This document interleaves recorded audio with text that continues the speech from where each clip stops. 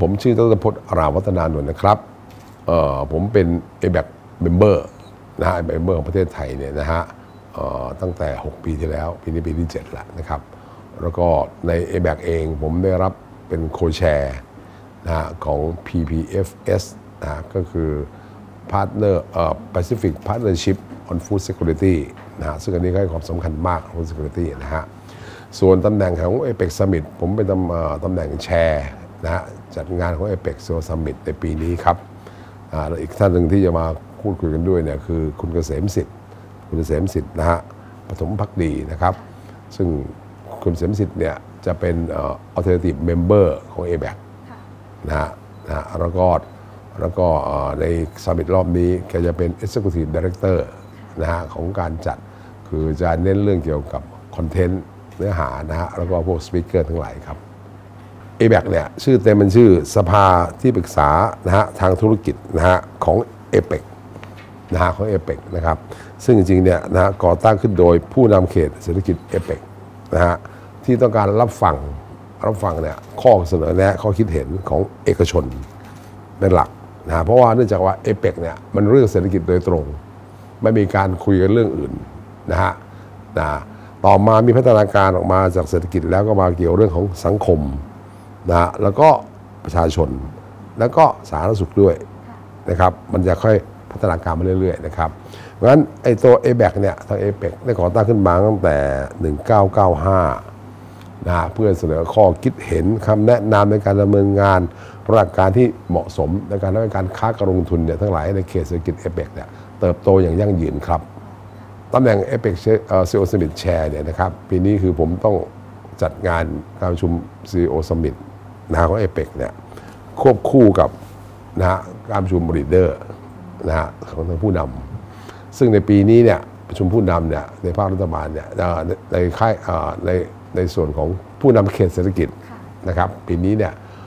ทางไทยเนี่ยเราจัดประชุมวันที่ 18-19 พฤศจิกายนปีนี้นะครับเอเปก Summit เนี่ยก็จะจัดวันที่ 17 18 นะครับ11 18 เนี่ยพฤศจิกายน โดยที่ 16 ครึ่งบ่ายนะฮะเราจะมีการ register นะครับนะฮะแล้วก็มี cocktail receptionนะครับ17 ก็จะเริ่มประชุมเลยเต็มวัน 17 18 นะครับ แล้วก็ 17 เย็นจะมี gala dinner นะทีนี้ถ้าสงสัยว่าทำไม 18 มันไปซ้อนกับประชุม leader หรือเปล่า หรือผู้นำหรือเปล่าเนี่ยนะครับ คือมีความจำเป็นเพราะเนื่องจากว่าในเวที Summit เนี่ยเราจะมีผู้นำขึ้นมาพูดนะฮะ ให้ speech อยู่เยอะพอควรนะครับ ซึ่งเดี๋ยวคุณเสมสินจะให้รายละเอียดเนี่ยนะฮะเพราะงั้นงั้นเราต้องจัดเวลาให้มีเหลื่อมที่ทั้งผู้นำอยู่ในประเทศไทยด้วยนะครับไม่งั้นมันจะจัดลำบากนะครับ แต่ก่อนหน้านั้นเนี่ยเราก็จะมีประชุมเนี่ยเอแบกนะฮะครั้งที่4นะครับครั้งที่4เนี่ยนะฮะก่อนจัดเอเ c กซัมมิตนะครับจะจัดวันที่ 13 14 15 16 ครึ่งวันนะฮะซึ่งจะเป็นการรวบรวมสุดท้ายละตกผลึก นะฮะข้อเสนอแนะนะฮะทางด้านเศรษฐกิจสังคมนะครับ ปัญหาทางหลายสาธารณสุขนะฮะเพื่อนำเสนอนะฮะกับทางผู้นำนะฮะในการเวลาที่มีเอเปกจนะเอแบกพบผู้นำนะฮะเรามีข้อเสนอทั้งแบบเร่งด่วน แล้วก็ระยะกลางระยะยาวมีหมดครับ เพราะจริง ๆ เราช่วงนี้เนี่ยทุกประเทศในโลกนี้ก็เกิดปัญหาเรื่องคริสิสเยอะนะครับ ทางด้านเศรษฐกิจเต็มไปหมดเลยนะครับ ความขัดแย้งอีกหลายอย่างนะครับ ปัญหาสาธารณสุขเรื่องโรคระบาดนะครับเรื่องของเงินเฟ้อนะฮะเรื่องของคริสิสพลังงานคริสิสอาหาร โดยเฉพาะวิกฤตอาหารเนี่ยอันนี้เรื่องใหญ่ครับเอแบกคือกลุ่มนักธุรกิจนะฮะตัวแทนประเทศละ 3 คน ซึ่งเป็นตัวฟอร์ม l แต่งตั้งทางการจากแต่ละประเทศเนี่ยนะครับ จะต้องประชุมปีละ4ครั้งนะฮะเอ่อแล้ว ประเทศที่เป็นเอ่อเอ่อเอ่อแชร์ของการประชุมลีดเดอร์ในปีนั้นเนี่ยนะฮะอ่าตัว ABAC Chair ก็จะเป็นคนของประเทศนั้นที่เป็น Chair นะครับ แล้วก็อยู่การประชุมรวบรวมปัญหาข้อคิดเห็นข้อเสนอแนะ เพื่อครั้งที่ 4เนี่ยที่จะต้องนำที่จะต้องนำเสนอผู้นำนะฮะอันนี้อันนี้เป็นทางการเสนอผู้นำไปนะครับ ทีนี้เอแบกก็คืออยู่ใต้ Summit นะฮะแต่อยู่ใต้ leader แต่ a b a c มีข้อเสนอที่จะต้องนำเสนอ leader นะครับแต่ Summit เนี่ย Summit คือการที่เราเนี่ยจะเชิญนักธุรกิจระดับใหญ่ระดับโลกเนี่ยนะฮะของเขตเศรษฐกิจที่เป็นประเทศนะฮะและบางครั้งก็มีจากประเทศอื่น ซึ่งเขาสนใจนักธุรกิจใหญ่เยอะมากนะฮะมาฟังมาคุยมาปรึกษาหารือกันในเวที Summit แล้วก็จะถือโอกาสนี้เนี่ยเราจะเชิญทั้งผู้นำนะทั้งเขตเศรษฐกิจนะฮะ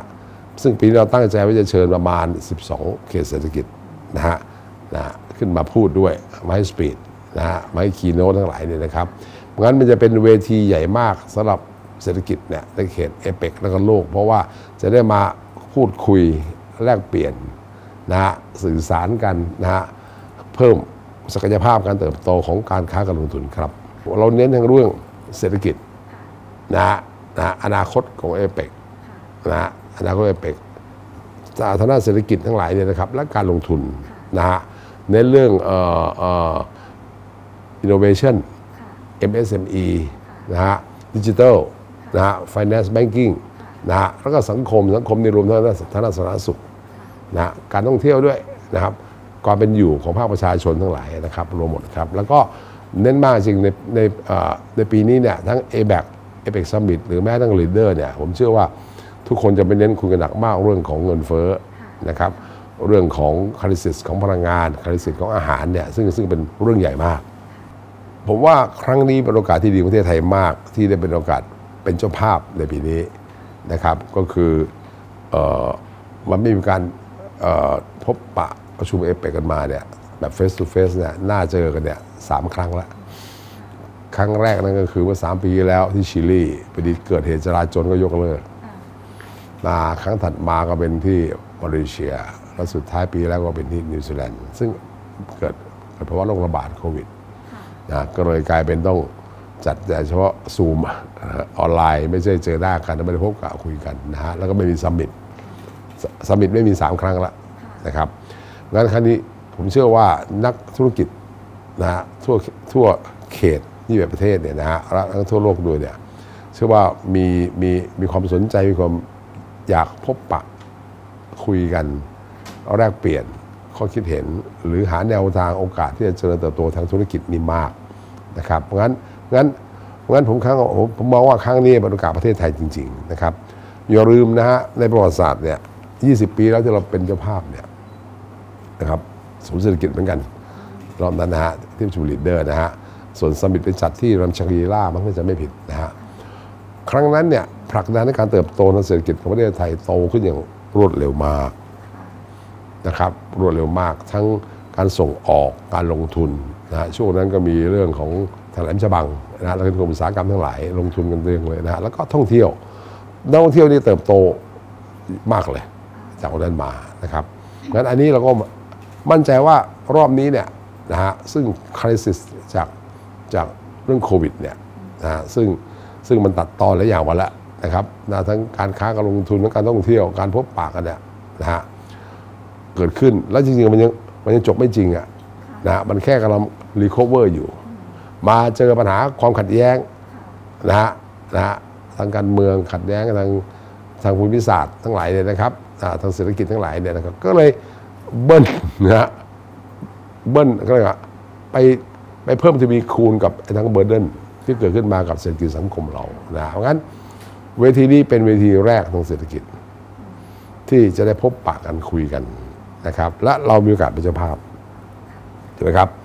ข้อสำคัญคือครั้งนี้เนี่ยที่จะบอกกับเรามากคือเราจะได้เอ่อ PR นะโฆษณาประเทศไทยเราจูงใจนักลงทุนนักท่องเที่ยวนะครับให้เข้ามาลงทุนในประเทศไทยมากขึ้น เปิดโอกาสทางการค้าการส่งออกการนำเข้ามากขึ้น เราจะสังเกตว่าจากสปอนเซอร์ที่มาที่มาร่วมกันในงานเนี่ยบริษัทใหญ่ๆยักษ์ประเทศไทยร่วมสปอนเซอร์กันอย่างคับคั่งมากเลยนะครับเพราะว่าว่าอยากจะเปิดโอกาสกันตอนนี้นะฮะเพราะฉะนั้นผมเชื่อว่าเรามีหลายๆโปรเจกต์เต็มไปหมดที่เราต้องการผลักดันให้โต EEC เอ่ยการลงทุนใน EEC เอ่ยนะครับความเชื่อมโยงเอ่ยหลายอย่างเนี่ยนะฮะการท่องเที่ยวเอ่ยนะครับ ครั้งนี้นะฮะมั่นใจครับว่าจะเป็นโอกาสที่ดีมากของประเทศไทยครับ จากข่าวที่ลงมาทั้ง BOI เอ่ย EC ก็มีมาตลอดเวลา แล้วการท่องเที่ยวเองใช่ไหมฮะเพิ่งฟื้นจากโควิดนี่มา 8 เดือนกว่าเนี่ยก็ไปเกือบ 6 ล้านคนแล้ว ซึ่งตัวเลขเราก็มั่นใจปีนี้มันเกิน 10 ล้านอยู่แล้วนะฮะแล้วปีหน้าก็คาดกันไว้ถึง 20กว่าล้านคนนะครับมันจะดีทั้งภาคประชาชนด้วยนะฮะเพราะว่าเอ่อเม็ดเงินที่จะไหลเข้ามาเนี่ยจากการลงทุนการค้าขายแล้วก็การท่องเที่ยวเนี่ย สุดท้ายมันก็จะโฟล์ไปตามลากหญ้าไปเรื่อยๆไปนะฮะ โดยเฉพาะอย่างเช่นเกษตรอาหารซึ่งเราส่งออกได้ดีมากนะฮะ แล้วก็จริงๆคริสิสของอาหารตอนนี้ฟู้ดตอนนี้เนี่ย มันส่งเสริมให้ประเทศไทยสามารถที่จะเติบโตได้อีกเยอะ ผมเชื่อว่ามันมันคงไม่ใช่แค่เป็นนักธุรกิจนะ มันได้ทั้งประเทศ ได้ทั้งเศรษฐกิจการค้า และได้ภาคประชาชน ผมเมื่อกี้บอกหัวข้อไปแล้วนี่ วันนี้ไม่ได้คุยแค่เศรษฐกิจ เราคุยกันเรื่องสาธารณสุขด้วย นะครับคุยเรื่องการเชื่อมโยงกันนะฮะในระหว่างเขตเศรษฐกิจนี้นะครับคุยเรื่องสังคมนะคุยเรื่องสังคมนะฮะ BCG นะฮะนะฮะ Biosecular Green Economy นะครับความยั่งยืนนะครับคุยเรื่องโลกร้อนนะฮะคุยเรื่องคาร์บอนนะฮะได้มาหมดเลยเพราะงั้นมันเกี่ยวกับภาคประชาชนหมดตรงนี้ เพื่อความยั่งยืนครับเอเปกเนี่ยมันเพื่อทั้งประชาคม 21 ประเทศนะฮะทั้งในส่วนของ ภาคเศรษฐกิจสังคมนะและภาคประชาชนครับ ครั้งนี้โควิดเนี่ยนะฮะ pandemic มันหนักมากนะฮะเราแต่แรกๆจนผ่านมาปีเศษเนี่ยก่อนจะจับทางกันได้ว่าอะไรเป็นอะไร แม้ทั้งวัคซีนอะไรต่างก็จะคลำกันได้ใช้เวลา คือคือบทเรียนของโควิดเนี่ยมันทำให้กลุ่มเอเปกต้องร่วมมือกันอะจะหาทาง prevent ป้องกันยังไง รับมือยังไงกันต่อไปอนาคตกับเรื่องโรคระบาดนะฮะเราจะตั้งรับยังไง เราจะรับมือกันยังไง แล้วก็สำคัญจะร่วมมือกันอย่างไรนะครับ อันนี้คือเรื่องสาธารณสุข ผมไม่อยากใช้คำว่ากระตุ้นแต่เศรษฐกิจ อย่าไปอย่าไปคิดมันแค่เรื่องเศรษฐกิจนะครับ มันเป็นมันเป็นการรวมกลุ่มกันเนี่ยนะฮะเน้นหนักมากคือความเชื่อมโยงให้ได้ก่อนมันเชื่อมโยงกันยังไง มันสามารถเชื่อมโยงได้ทุกมิติ ถูกไหมครับ ได้ในมิตินะฮะของเศรษฐกิจ ซึ่งก็เป็นการค้าการลงทุน มันได้มิติของสาธารณสุขนะฮะมิติปัญหาโลกที่ผมบอกแล้วโลกร้อนนะฮะคาร์บอนทั้งหลายนะฮะความมั่นคงอาหารการขาดแคลนอาหารกับพลังงาน มันได้ทุกมิติ ซึ่งที่มันได้เนี่ยมันไม่ได้แค่เศรษฐกิจมันลงไปถึงภาคประชาชนหมด การกินอยู่ตีนะของภาคประชาชนอยู่ได้ยังไงครับ เราเน้นพยายามจะผลักดันเนี่ยการเจรจา FTA ของเอเปก นะซึ่งมันคามานานแล้วนะครับ ถ้าฉบับใหญ่ทำไม่ได้ก็ทำฉบับย่อยได้ไหม เฉพาะช่วยกันมากู้เนี่ยนะภาวะพินาศเศรษฐกิจจากโควิดก่อนถูกไหมฮะเราเน้นการเชื่อมโยงกับภาคประชาชนศูนย์สิริกิติ์เนี่ยเป็นที่จัดของประชุมภาครัฐเรื่อง leader ทั้งหมดนะครับ จริง ๆ เราก็เกือบจะไปร่วมที่นู่นแล้วพอดีมันความเหมาะสมไม่มีเพราะเนื่องจากการที่ต้องดูแลเรื่องความปลอดภัย security นะครับก็เลยตัดสินใจเนี่ยเราจะจัด ประชุม APEC Summit เชื่อมโยงกับ ABAC เลย ABAC จะจัดที่ The Athenee นะครับหรือยูเนี่ยนะครับที่ Convention เนี่ยแล้วเราก็จะเชื่อมต่อเลยจัดที่ Convention ที่ Athenee แต่งานเลี้ยงทั้งหมดเนี่ยเราต้องการที่จะโชว์นะประเทศไทยในแง่ของการท่องเที่ยวกับเศรษฐกิจนะครับ ก็เลยไปจัด cocktail reception จัดที่ไอคอนสยามนะฮะตรงริมน้ำเลยนะครับนะเพื่อจะได้เห็น วิถีชุมชนเห็นวิถีทางน้ำเห็นเรื่องการท่องเที่ยวทั้งหมดนะครับนะนะแล้วก็ส่วนส่วนส่วนเอ่อ gala dinner เราจัดที่พารากอนนะหนึ่งเนื่องจากว่าเราจัดประชุมอยู่ที่ที่ The Athenee เนี่ยมันอาจจะเลิกเย็นหน่อย แล้วก็กลัวว่าถ้าย้ายที่ไปไกลมากเนี่ยที่ gala dinner มันจะมีปัญหา ก็เลยเอาใกล้หน่อยว่าจากนั่นไปที่พารากอนมันนิดเดียวนะฮะนะแต่เราก็จะโชว์เนี่ยความเจริญทางเศรษฐกิจของเราเนี่ยในลักษณะของของ ในส่วนของทางส่วนการค้าทั้งหลาย ว่าเราเจริญขนาดไหนครับ delegate เนี่ยที่เป็นการขายบัตรไปต่างประเทศนะฮะรวมทั้ง delegate ในเมืองไทยทั้งหมดเนี่ยนะฮะเราเชื่อว่าคงจะมีคนเข้าในห้องประชุม convention เนี่ยหนึ่งพัน up หนึ่งพัน up นะฮะแต่เราก็ต้องระวังอย่าให้ up เกินนะฮะเพราะว่าที่มันมันมันที่มันไม่จะพอเท่าไหร่นะครับ แต่ถ้าเรารวมนะฮะอันนี้เฉพาะเรื่อง summit นะผมไม่คุยเรื่องของทางภาครัฐนะ แต่ถ้าเรารวมเนี่ย delegation เนี่ยนะฮะที่จะต้องรวมขบวนมาเนี่ยนะฮะยกตัวอย่างอย่างเช่นบางประเทศนะอย่างเช่นจีนเนี่ยถ้าถ้าถ้าเกิดท่านประธานาธิบดีสีมาเนี่ยมันคงมีทีมนักธุรกิจตามเข้ามาเยอะมากใช่ไหมฮะเรามี delegation ยังมีภรรยามีทีมมีอะไรต่างๆนะครับแล้วยังมีสื่อแต่ละประเทศมาอีกเยอะแยะนะครับนะเราเชื่อว่าคงหลายพันคนนะที่จะเข้ามาประเทศไทยช่วงนั้น ประเทศไทยเรานะฮะได้โอกาสดีมากที่ได้จัดเอเปกเป็นเฉพาะครั้งนี้ หลังจากที่มันไม่จัดมา 3 ปี แล้วมีภาวะปัญหาเนี่ยนะฮะของของ pandemic ทางเศรษฐกิจเนี่ยทั่วโลกไปหมดเลยนะครับแล้วมาเจอ crisis ของการแข่งอาหารกับพลังงานนะครับนะนะแล้วก็เงินเฟ้อนะครับ เพราะงั้นผมคิดว่าประเทศไทยเราได้จัดรอบนี้เนี่ยมันจะเป็นที่ระดมสมองระดมคนเนี่ยที่ที่อยู่ในอยู่ในผู้ระดับผู้นำทางเศรษฐกิจ นะของแต่ประเทศเนี่ยมาร่วมกันปรึกษาหรือกันสร้างการเติบโตนะครับ อย่างเน้นข้อที่สองคือว่าประเทศไทยเรานะฮะคนไทยเราทุกคนเนี่ยต้องร่วมกันเป็นเจ้าภาพที่ดีนะฮะของของการจัดสมิตรอบนี้นะฮะเพราะอย่าลืมว่าผมเรียนว่าผลประโยชน์ มันไม่ได้อยู่ที่ทางเศรษฐกิจอย่างเดียว ไม่ใช่นักธุรกิจนะฮะเพราะคอนเทนต์หรือว่าเนื้อหาของเราเนี่ยทั้งหมดเนี่ยเราเน้นไปในภาคของภาคประชาชน ภาคสังคมเยอะมากนะครับและการเติบโตอย่างยั่งยืนของทุกภาคเพราะมันได้หมดนะฮะเพราะงั้นคนไทยเราประเทศไทยเราต้องร่วมเป็นเจ้าภาพให้ดีเด่นสง่างามนะมีภาพพุทธศาสนาที่ดีกับต่างประชาติทุกคนที่เข้ามาประเทศไทยนะเพื่อจูงใจให้มาทั้งการค้าการลงทุนและการท่องเที่ยวถูกไหมครับนาคงฝากในแค่นี้ฮะว่าว่ามันมันมันมันดีสำหรับทุกคนทุกฝ่าย นะครับแล้วคาดหวังอะไรจากนั้นอีก ท้ายสุดนะครับก็คือผลพวงที่ได้คือทำให้เศรษฐกิจในเขตภูมิภาคนี้นะฮะดีขึ้น